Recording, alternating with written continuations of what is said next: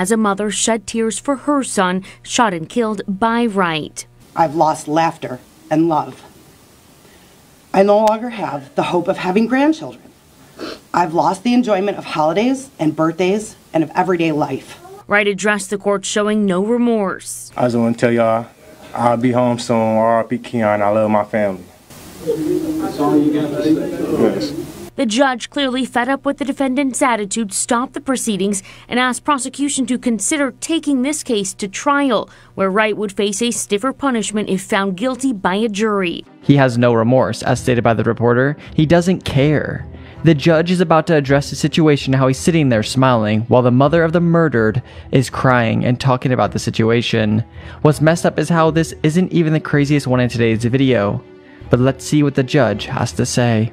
But watching you sit there, smile and laugh and shake your head like this was no big deal, I'm very tempted to just say, I'm not going to accept this sentence agreement. We'll go to trial. And if you're convicted of felony murder, you'll go to prison for the rest of your life. That means you'll die there. This is not the first time the teen has shocked the courtroom. Back in June during a pretrial hearing, he admitted he shot and killed 18 year old Jordan Klee. It was October 2016. Wright said he and two other friends were trying to rob Klee when he shot Klee in the back of the head, killing him. The victim, a senior at Pioneer High School in Ann Arbor, was described as a high achieving student and football athlete. This year was supposed to be a year of celebration, of senior pictures with prom and graduation and parties. Instead, it was a nightmare, a nightmare that no parent should ever endure. Ultimately, Jordan's family decided not. Killer laughs at father in the courtroom. This person murdered this man's son, and he begins to laugh at him and smile at him in the courtroom. Like anyone would, the father leaped over the tables and attacked him. And things got heated in a Cleveland courtroom as the father of a murder victim was addressing his daughter's convicted killer. Then this happened. He launched himself over a table, attacking the man. Deputies eventually got in the middle there and separated the two, leading the victim's father out of the courtroom. Ultimately, the judge agreed with the jury's recommendation and imposed the death penalty. The convicted murderer was found guilty of killing. Murderer laughs as victim's blind sister speaks. This is disgusting. This murderer is laughing at the sister of the victim who is speaking on the matter, but she doesn't let this affect her. She fires back and fights for her family member, and quite honestly, she puts this murderer in his place. The notorious Tri-State killer may spend the rest of his life in prison. Tyrell Webster was convicted of killing a man in East Price Hill, and as the victim's family asked for justice today, Webster was laughing at them. Andrew Setters has the story you will see only on WLWT tonight.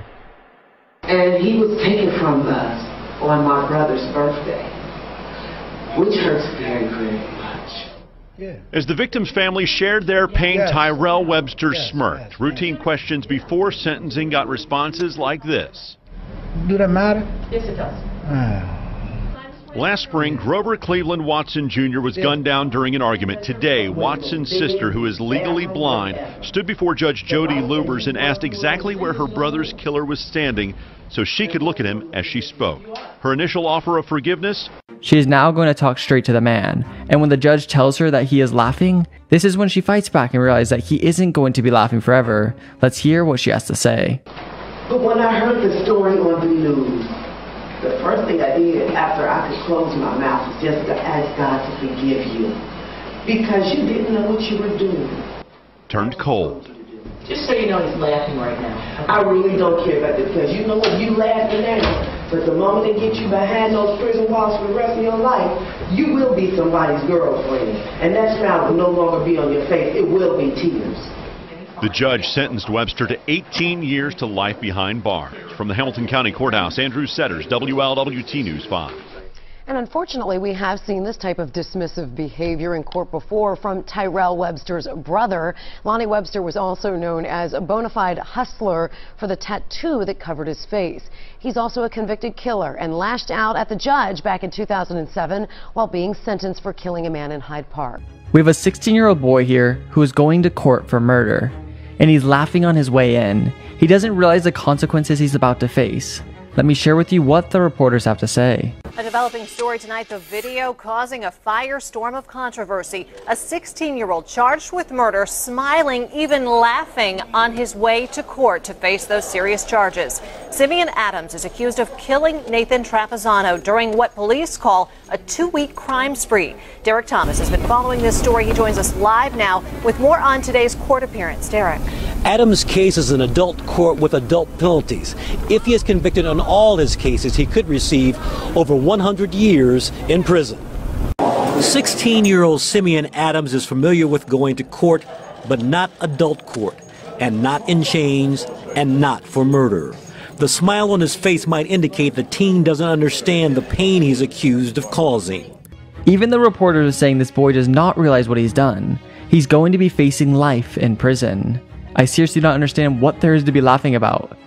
Let's finish the news segment. 24 year old Nathan Trapuzzano was gunned down during an early morning walk in the 3500 block of West 16th Street. This is the surveillance video taken just prior to the victim's murder. Adams, who goes by the nickname of Red, is charged with the murder, but his friends who attended the hearing dispute that. Free little Red, he innocent, he ain't do none of that. How do you know? How do I know? Get these cameras out of my face. Prosecutors believe Adams was on a crime spree.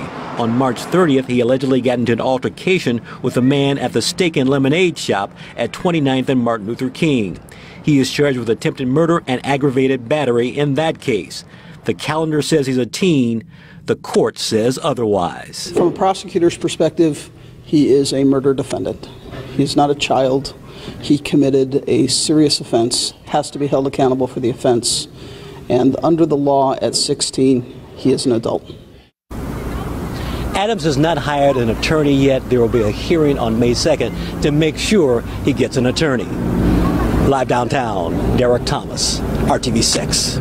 Now we probably have the most disgusting of them all. A boy shut up a school and is at his trial, laughing while the judge speaks. I honestly have no words for this. Defendant's conduct was without any provocation. As Judge David Fuhry sentenced TJ Lane to life in prison with no possibility of parole for a school shooting that left three students dead, Lane smirked. Earlier, the 18 year old removed his shirt to reveal a t shirt with the word killer. He Do you see his shirt? He has the word killer written on it, as if this is something funny. This is honestly disgusting. He's going to be flipping off the families, parents of the victims? I I can't believe this. even gestured obscenely at victims' relatives. It surprised the court. Lane's attorney says he'll appeal. TJ does have his appellate rights. He opted to exercise those today, uh, if only to scrutinize the and look over everything that was done in this case. The prosecutor said he was disgusted by the outburst. He also revealed something new. We did find out that uh, TJ had sent a text to his sister Sadie uh, talking about a school shooting about six days prior to the incident.